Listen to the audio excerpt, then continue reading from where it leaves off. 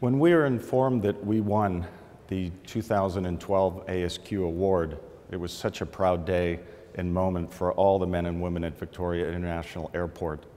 And most importantly, it just served to validate our single minded focus of putting the customer right front and center at everything that we do.